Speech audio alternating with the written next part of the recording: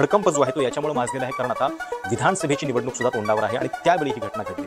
राष्ट्रवादी शरदचंद्र पवार पक्षाचे नेते शरद पवार यांनी ट्विटवरून असं म्हटलं सरकारवरती टीका केली आहे की जर कायदा आणि सुव्यवस्थासारखी गोष्ट इतक्या सौम्यपणाने राजकारणी जर कारभार करत असतील तर त्याच्यासारखी दुर्दैवाची गोष्ट नाही. आणि साहजिक आहे की या सगळ्या घटनेमुळं मुंबईच्या सुरक्षा व्यवस्थेवरती प्रश्नचिन्ह निर्माण झाले आहे. या गेल्या काही वर्षामध्ये आपण बघतोय की इतक्या भयानक घटना घडलेल्या आहेत आणि मुळामध्ये राज्य कायद्याचं आहे की नाही गृहमंत्री एकीकडे वेगवेगळ्या पद्धतीनं राजकीय घोषणा करतायत पण या गुन्हेगारांना जरब बसवण्यामध्ये कायद्याचा धाक बसवण्यामध्ये मात्र इतके अयशस्वी ठरलेले आहेत का? हा प्रश्न आहे. बाबा सिद्दीकी यांच्या हत्येमागचं नेमकं कारण काय आहे हे आपल्याला अद्याप स्पष्ट झालेलं नाही आहे पण एक नक्की आहे की ज्या पद्धतीनं बाबा सिद्दीकी यांची पर्सनॅलिटी होती अनेक जणांचं म्हणणं आहे की त्यांचं वैर राजकीय कुणाशी नव्हतं राजकीय टीका टिप्पणी करण्यामध्ये ते फारसे दिसत नसायचे. इफ्तार पार्ट्या ज्या आहेत त्या त्यांच्या खूप प्रसिद्ध होत्या आणि सगळे बॉलिवूड सेलिब्रिटी जे आहेत ते या पार्ट्यांसाठी हजेरी लावायचे. त्यामुळं एक प्रकारे बाबा सिद्दीकी यांच्या हत्येनं एक मेसेज जो आहे तो बॉलिवूडला सुद्धा देण्याचा प्रयत्न झालेला आहे का हे बघायला. आचारसंहिता लागायला आता अजून काही तास आहेत. त्याच्या आधी आता अजून एक घटना जी महाराष्ट्राच्या कायदा आणि सुव्यवस्थेला गालबोट लागण्याची घडली आहे. महाराष्ट्रामध्ये आचारसंहिता लागू होण्याच्या शेवटच्या क्षणापर्यंत कायदा आणि सुव्यवस्थेचे रेकॉर्ड ब्रेक वाटोळे सुरू आहेत. गेल्या पाच वर्षांच्या टर्ममध्ये आता महाराष्ट्राला नेमकं काय बघायचं राहिलं आहे असा प्रश्न विचारावा इतकी संतापजनक स्थिती आहे. काल मुंबईमध्ये भर सार्वजनिक ठिकाणी एका माजी मंत्र्याला गोळीबार करून संपवण्यात आलेला आहे. बाबा सिद्दीकी जे आधी काँग्रेसमध्ये होते आणि सध्या अजित पवार गटाचे नेते होते त्यांच्यावरती काल रात्री साडेनऊ वाजता गोळीबार झालेला आहे. धक्कादायक म्हणजे त्यांना वाय दर्जाची सिक्युरिटी अगदी पंधरा दिवसांपूर्वीच पुरवण्यात आलेली होती. म्हणजे कायदा आणि सुव्यवस्था महाराष्ट्राची इतकी दुबळी झालेली आहे किंवा गुन्हेगारी प्रवृत्तीचे लोक आता महाराष्ट्रामध्ये या कायद्याला इतक्या हलक्यात घेत आहेत की वाय दर्जाची सिक्युरिटी एखाद्याला पुरवून सुद्धा त्यांना विश्वास आहे की वाय दर्जाची सिक्युरिटी असली म्हणून काय झालं तरी सुद्धा आम्ही तुमचा गोळीबारामध्ये तुमच्यावरती गोळीबार करू शकतो तुम्हाला संपवू शकतो. इतका विश्वास या गुंडांना आलेला आहे आणि ही महाराष्ट्रासारख्या एका मोठ्या राज्याची स्थिती आहे. गेल्या पाच वर्षामध्ये सगळ्या राजकारण्यांचं लक्ष दुसरे पक्ष फोडण्यामध्ये आपल्याकडे आमदार वळवण्यामध्ये आपापले पक्ष सांभाळण्यामध्ये खर्ची होती आहे सगळी एनर्जी आणि त्यामुळं या सगळ्या गोष्टींकडे लक्ष द्यायला कोणाला वेळ नाही आहे का जर आमदारावरती एका माजी आमदारावरती एका माजी मंत्र्यावरती अशा पद्धतीने गोळीबार होत असेल तर सामान्यांच्या सुरक्षेची नेमकी काय स्थिती असेल याची कल्पना केलेली बरी. बाबा सिद्दीकी हे बांद्रा पश्चिममधून तीन वेळा आमदार म्हणून निवडून आलेले होते. एकोणीसशे नव्याण्णवपासून ते आमदार होते. मूळचे बिहारचे त्याच्यानंतर एन एस यू आयमधून त्यांनी काँग्रेसच्या राजकारणाला सुरुवात केली आणि महाराष्ट्रामध्ये माजी मंत्रीसुद्धा राहिलेले आहेत. अन्न आणि प्रशासन खात्याचे ते मंत्री होते. आणि त्यांच्यावरती म्हणजे एकतर बाबा सिद्दीकी हे बॉलिवूडच्या सगळ्या वर्तुळामध्ये सुद्धा इफ्तार पार्ट्यांसाठी खूप प्रसिद्ध होते. बांद्रा बॉय म्हणून त्यांना बघितलं जायचं. आणि लक्षात घ्या की मुंबईमध्ये बांद्रा हा तो परिसर आहे ज्या ठिकाणी अनेक फिल्मी कलाकारसुद्धा अगदी सगळे सेलिब्रिटीज जे आहेत ते मोठमोठे ते या परिसरामध्ये राहतात. आणि त्याच परिसराचे हे माजी आमदार होते. त्यामुळे त्यांची या सगळ्या कलाकारांमध्ये उडबस होती. दोन हजार आठमध्ये ज्यावेळी सलमान खान आणि शाहरुख खानमध्ये थोडंसं वितुष्ट झाल्याच्या बातम्या होत्या त्यावेळी त्या दोघांना एकत्र सगळ्यात पहिल्यांदा पाहिलं गेलं ते बाबा सिद्दीकी यांच्या इफ्तार पार्टीमध्ये एका बाजूला शाहरुख आणि एका बाजूला सलमान असे दोघांच्या खांद्यावरती हात टाकून बाबा सिद्दीकी त्या पार्टीला आलेले होते.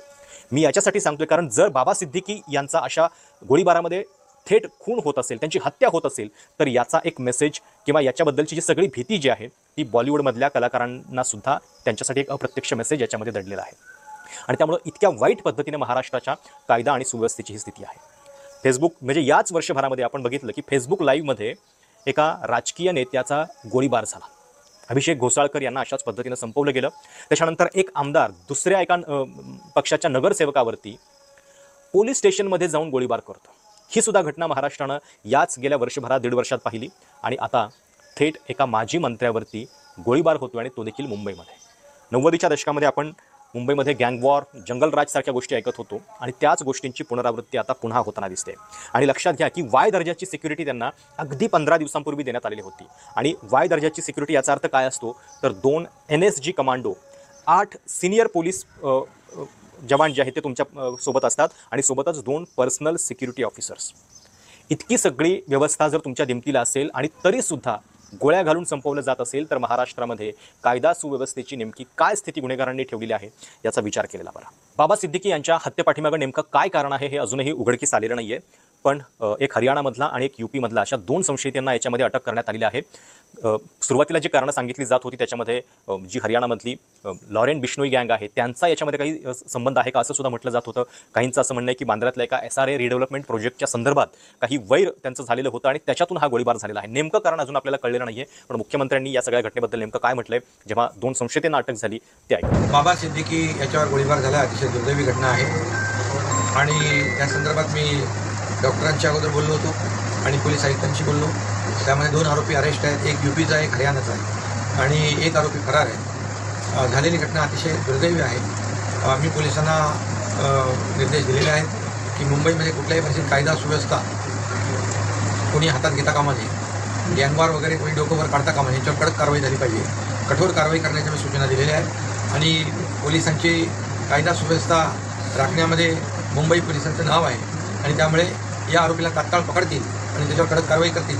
तिन्ही लोक जे आहेत यांच्यावर बाबा सिद्दीकी यांच्यावर जो हल्ला केलेला आहे या हल्ल्यासंदर्भात तात्काळ यांच्यावर कठोर कारवाई होईल आणि कठोर काही कारवाई करण्याचे निर्देश आरोपी तीन ते चार राऊंड रात्री साडेनऊच्या दरम्यान झिशान सिद्दीकी जे स्वतः आमदार आहेत त्यांच्या ऑफिसच्या बाहेर बाबा सिद्दीकी यांच्यावरती फायर करण्यात आले. मांद्रेपूरमधल्या राम मंदिराजवळ हा गोळीबार झाला. निर्मलनगर भागामध्ये फटाके वाजत असताना बाबा सिद्दीकी यांच्यावरती गोळीबार झाला आणि त्यातली एक गोळी जी आहे ती सिद्दीकी यांच्या छातीला लागली. त्याच्यानंतर त्यांना लीलावती हॉस्पिटलमध्ये दाखल करण्यात आलं.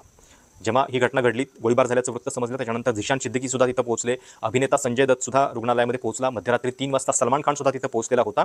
आणि बाबा सिद्दीकींनी काही दिवसांपूर्वीच काँग्रेस सोडून राष्ट्रवादी अजित पवार गटामध्ये समावेश केलेला होता. काँग्रेसमध्ये आपला वापर जो आहे तो केवळ कडीपत्त्यासारखा केला जातोय आपल्याला के कुठेही फक्त वापरलं जातंय ही त्यांची त्यावेळी प्रतिक्रिया होती. झिशान सिद्दीकी जे त्यांचे पुत्र आहेत आमदार आहेत स्वतः ते सुद्धा राष्ट्रवादी अजित पवार गटामध्ये येतील असं म्हटलं जात होतं. पण त्याच्या आधी या सगळ्या पार्श्वभूमीवर म्हणजे राजकीय हडकंप जो आहे तो याच्यामुळे माजलेला आहे. कारण आता विधानसभेची निवडणूक सुद्धा तोंडावर आहे आणि त्यावेळी ही घटना घडलेली आहे. राष्ट्रवादी शरदचंद्र पवार पक्षाचे नेते शरद पवार यांनी ट्विटवरून असं म्हटलं सरकारवरती टीका केली आहे की जर कायदा आणि सुव्यवस्थासारखी गोष्ट इतक्या सौम्यपणाने राजकारणी जर कारभार करत असतील तर त्याच्यासारखी दुर्दैवाची गोष्ट नाही. आणि साहजिक आहे की या सगळ्या घटनेमुळं मुंबईच्या सुरक्षा व्यवस्थेवरती प्रश्नचिन्ह निर्माण झालेलं आहे. या गेल्या काही वर्षामध्ये आपण बघतोय की इतक्या भयानक घटना घडलेल्या आहेत आणि मुळामध्ये राज्य कायद्याचं आहे की नाही गृहमंत्री एकीकडे वेगवेगळ्या पद्धतीनं राजकीय घोषणा करतायत पण या गुन्हेगारांना जरब बसवण्यामध्ये कायद्याचा धाक बसवण्यामध्ये मात्र इतके अयशस्वी ठरलेले आहेत का हा प्रश्न आहे. बाबा सिद्दीकी यांच्या हत्येमागचं नेमकं कारण काय आहे हे आपल्याला अद्याप स्पष्ट झालेलं नाही आहे पण एक नक्की आहे की ज्या पद्धतीनं बाबा सिद्दीकी यांची पर्सनॅलिटी होती अनेक जणांचं म्हणणं आहे की त्यांचं वैर राजकीय कोणाशी नव्हतं. राजकीय टीका टिप्पणी करण्यामध्ये ते फारसे दिसत नसायचे. इफ्तार पार्ट्या ज्या आहेत त्या त्यांच्या खूप प्रसिद्ध होत्या आणि सगळे बॉलिवूड सेलिब्रिटी जे आहेत ते या पार्ट्यांसाठी हजेरी लावायचे. त्यामुळं एक प्रकारे बाबा सिद्दीकी यांच्या हत्येनं एक मेसेज जो आहे तो बॉलिवूडला सुद्धा देण्याचा प्रयत्न झालेला आहे का हे बघायला हवं. आचारसंहिता लागायला आता अजून काही तास आहेत. त्याच्या आधी आता अजून एक घटना जी महाराष्ट्राच्या कायदा आणि सुव्यवस्थेला गालबोट लावल्याशी घडली आहे. तुम्हाला या सगळ्याबद्दल नेमकं काय वाटतं? या पाच वर्षांमध्ये आता नेमकं काय बघायचं राहिलेलं आहे? तुमच्या या घटनेबद्दलच्या कमेंट्स नक्की कळवा. चॅनल सबस्क्राईब करायला विसरू नका. धन्यवाद.